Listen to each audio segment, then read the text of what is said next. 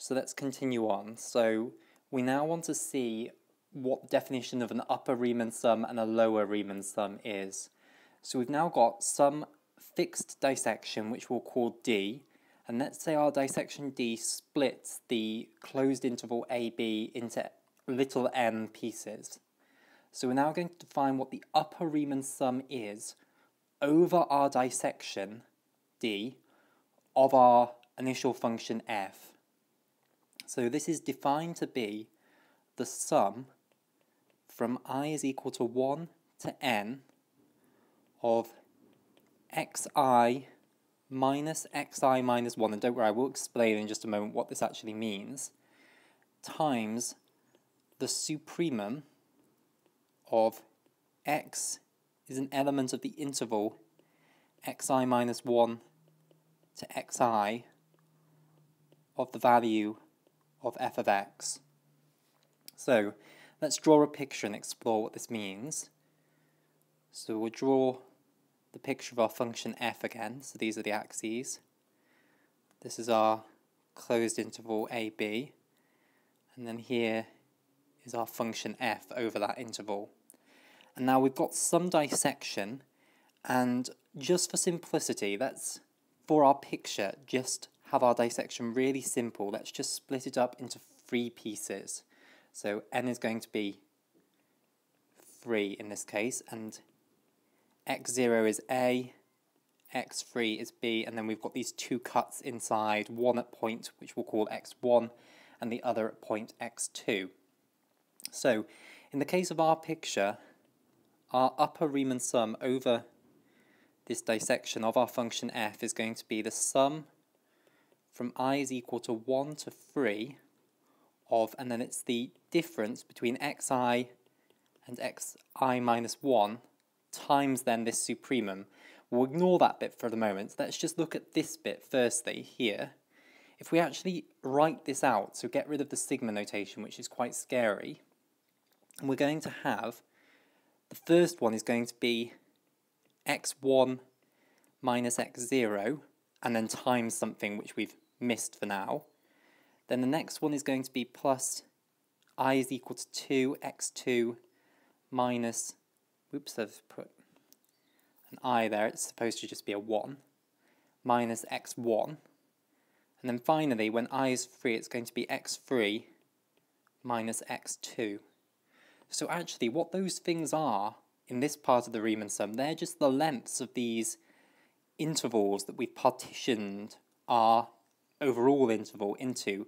So this one here is that length there, this one here is that length there, and this one here is that length there.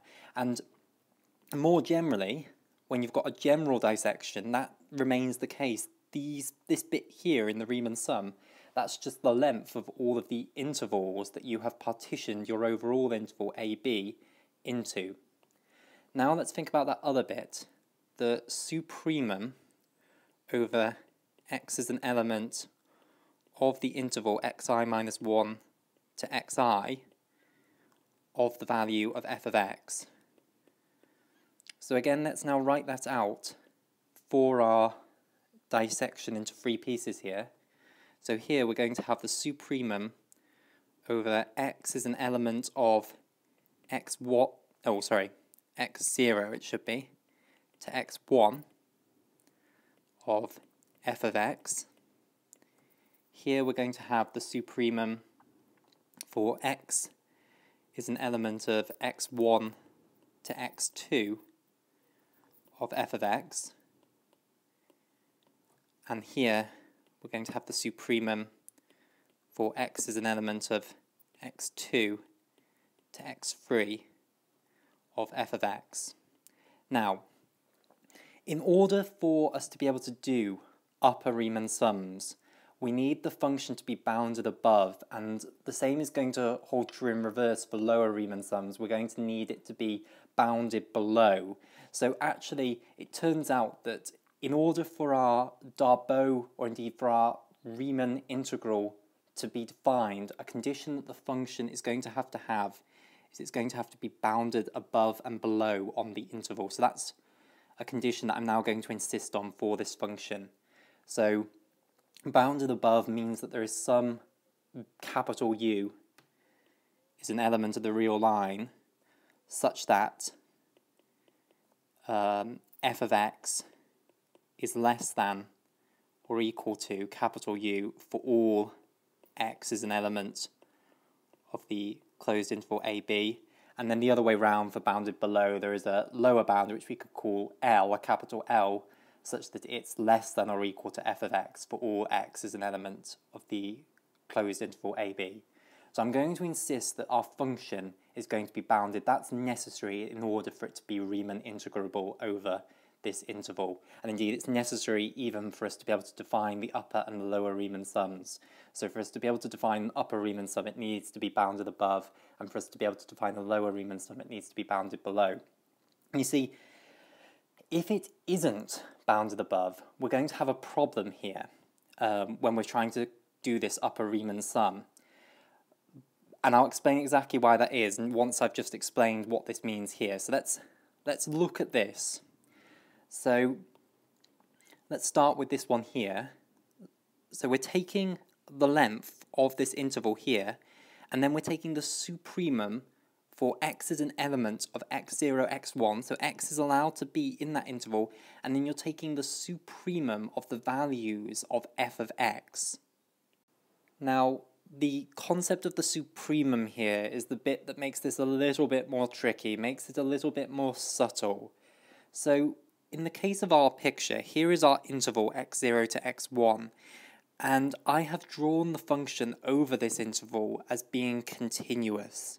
Now, for continuous functions over a closed interval, by the extreme value theorem, that function will obtain its maximum and minimum. So the supremum of all the values of the function over this interval is actually going to be equal to its maximum. So on this picture, Let's just draw some dashed lines. Here's the dashed line at x1. Here's the dashed line at x0. This value here, this is the maximum value, and that's going to be the supremum. So the supremum is equal to the maximum in this case that the function actually does obtain its maximum. So that value here, that's what we're going to be multiplying by the length of the interval here. So you can see that what we're going to get there is the area of this rectangle that I'm going to draw in red here, that is what this term of the upper Riemann sum is equal to.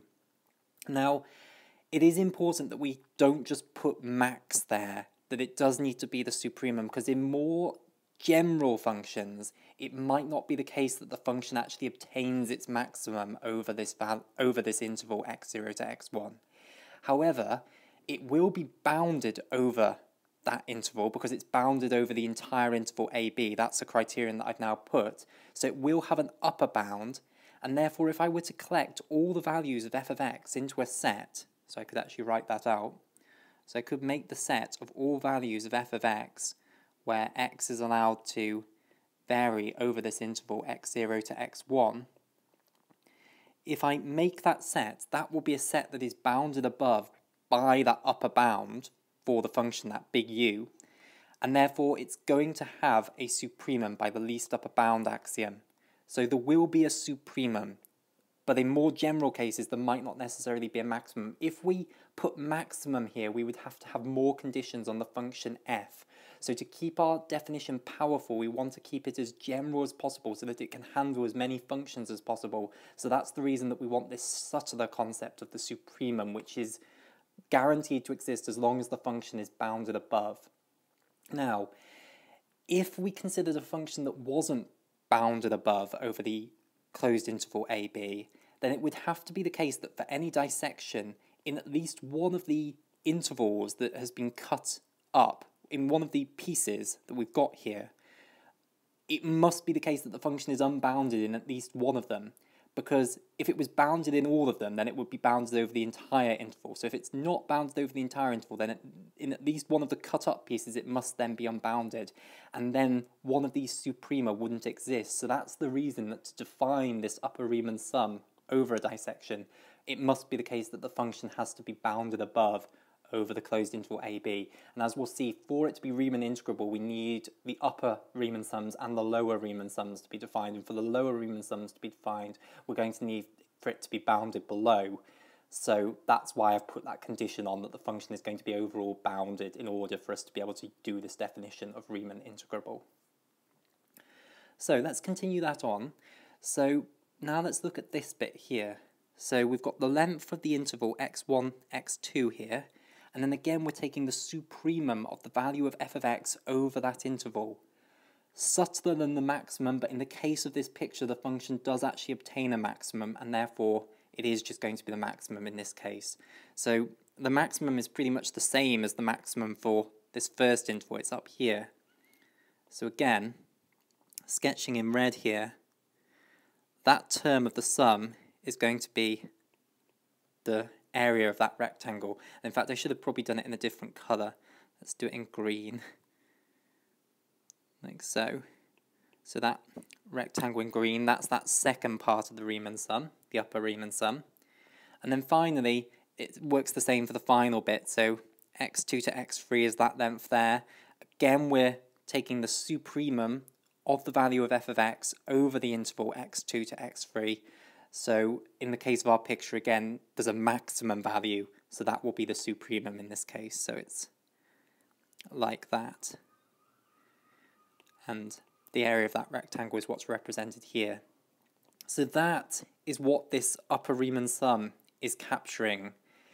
If you're if you take a dissection, and I might just draw another picture with a more general dissection now. So if we repeat our picture, and I'll try and draw it larger this time. So if we have our function here, here's our interval AB, take a general dissection and it could have a huge number of points. You know, n could be 1 million. You could have divided it up into a really fine dissection. So you could have a really fine dissection like so. And in this sum, each of these is going to be the length of the intervals that the dissection has cut the overall interval into, and then you're multiplying each one by the supremum of the values of the function over that interval. So for this first one here, again, in the case of this picture, I've drawn a nice continuous function.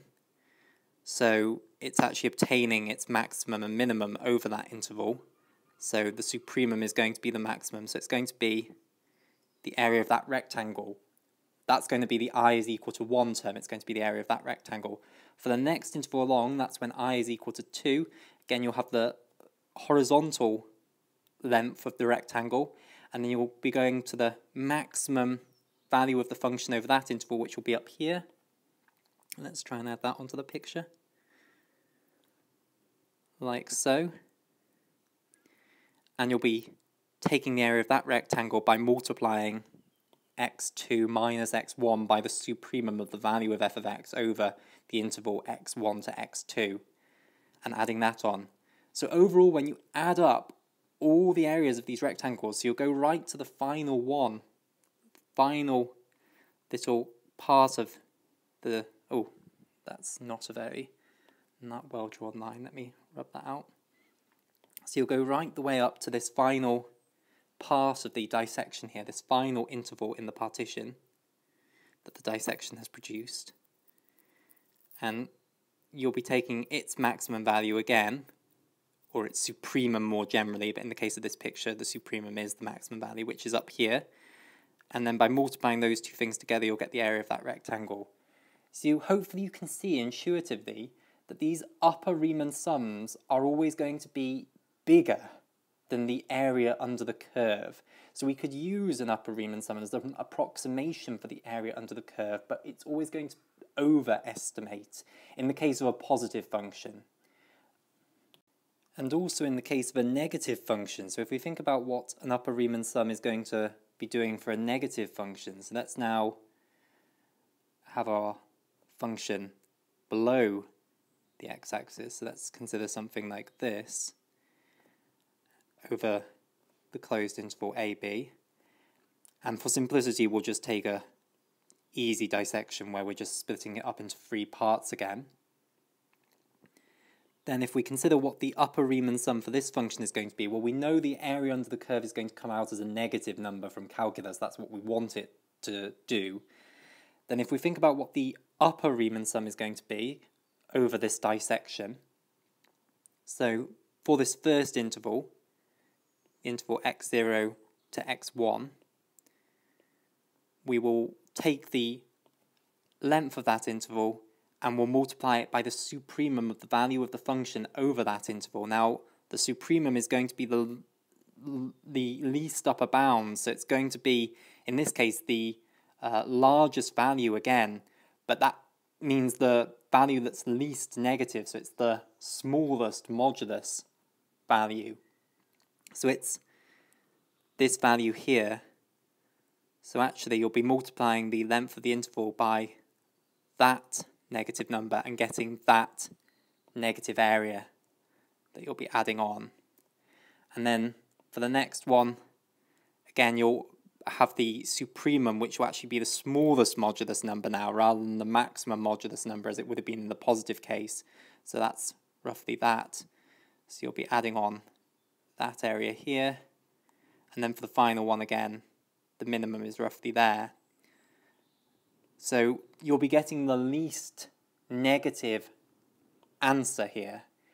Um, so because the area under the curve overall comes back as a negative number in the case of these negative functions, in the case of the upper Riemann sums now, it is going to be giving the most positive possible answer. It's going to be overestimating again.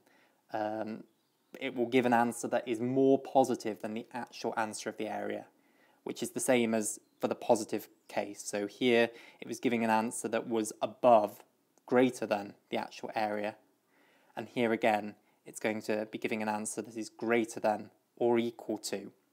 And I should state that. So an upper Riemann sum could give an answer that is actually equal to the area under the curve. Hopefully you can uh, realize what function that's actually going to occur for. So if you've got a constant function, then an upper Riemann sum will actually equal the value of the area under the curve. So if we've got a function like that, and we had the interval AB, no matter what dissection we take, and again, just for simplicity, we'll take a dissection just up into three pieces. Then if we consider the upper Riemann sum, well, the supremum is just the one value that it takes, this constant value, which we can call k. So when we do the upper Riemann sum, we're going to take the length here, multiply it by k, the length here, multiply it by k, the length here, multiply it by k, which will obviously actually give you the answer of the area under the curve. So upper Riemann sums, the answer is always going to come out greater than or equal to the actual area under the curve. So if we call the area under the curve A, then if we have an upper Riemann sum over any dissection you like of the function f, it's always guaranteed to be greater than or equal to the value of that A.